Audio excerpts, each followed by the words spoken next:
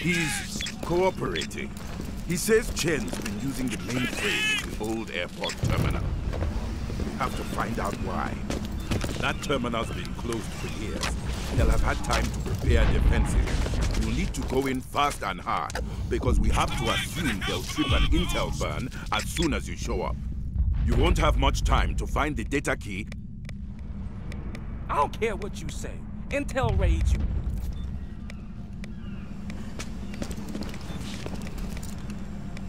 I'll defend the! Enemy